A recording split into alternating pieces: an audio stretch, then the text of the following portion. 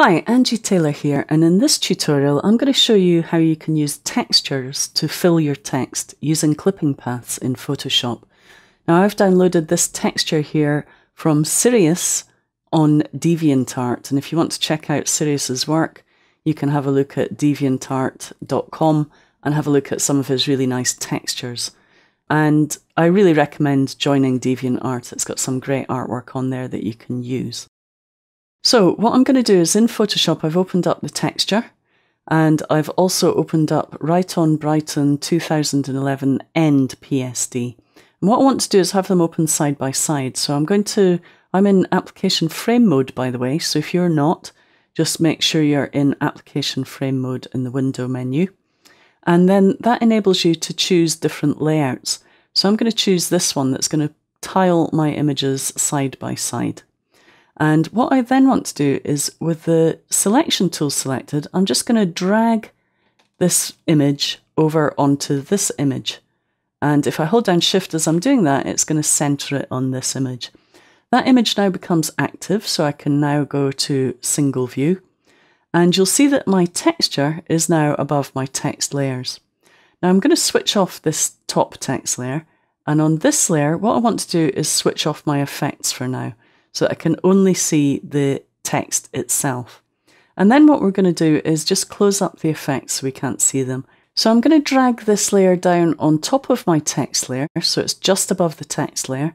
And then to create a clipping mask to fill the text with this texture, all I need to do is hold down the Alt key or the Option key on the Mac, Alt key on Windows, and I get this little indicator telling me that if I click now, I'm going to create what's called a clipping path.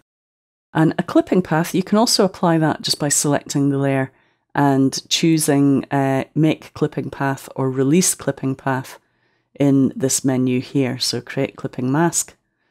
So it used to be called clipping path, it's now called clipping mask.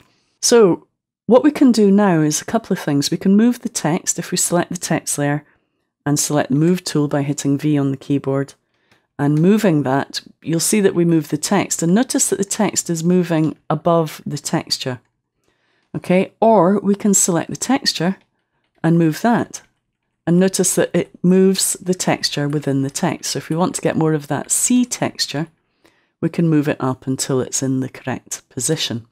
If we want to move them both, we can select them both and move them as a group. Or you could select them and make them into a layer group. So say new group from layers, and we'll call that clipping mask text group.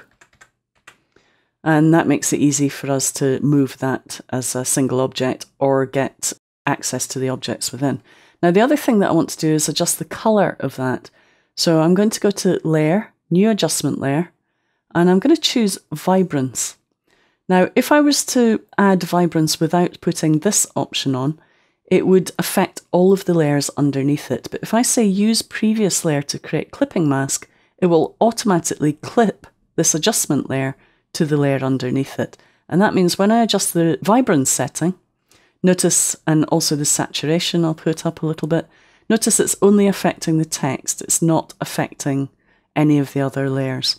We can also maybe add levels change, for example. Okay, and again, that's going to affect all of the layers. But if I make it into a clipping mask, it will only affect the right on Brighton text. Okay, so clipping masks allow you to determine which layers are affected and filled by textures and effects. Now, if I want to edit the vibrance effect, I can just double click this icon here and that will open up the vibrance effect, so I could bring the vibrance and the saturation down a little bit as well. Now, once I have the texture in there, I may want to add my effects back on. To do so, I need to click here just to switch the eyeball back on.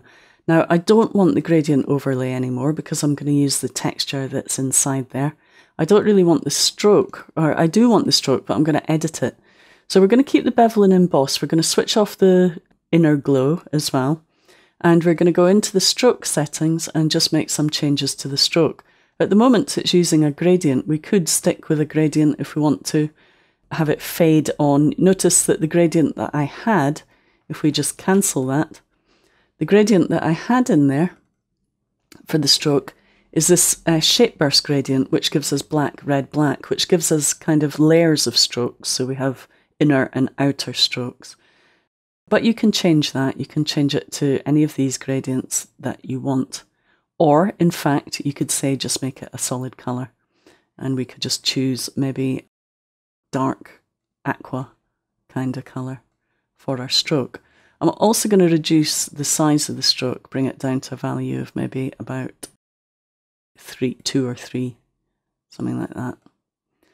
Okay, so you can see that by playing around with textures, and I can still adjust the texture if I want to move it a little bit inside the text, get some more of the sea foam kind of effect, that I can, I can adjust that texture any way I want. So if you can't find the textures you want in the effects, then you can load your own textures and use clipping paths. Incidentally, you can, in the gradient overlay dialog box, add textures to the gradient by choosing something like the pattern overlay. So if you've loaded a pattern in, you can actually apply it to the text this way as well.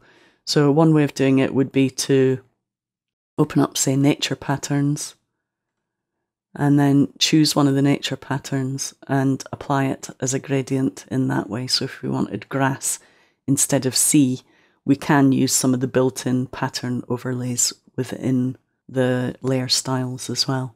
So a couple of ways of applying textures to your text. I'm going to just undo that so that we get back to our sea foam. So there we go, clipping paths in Photoshop.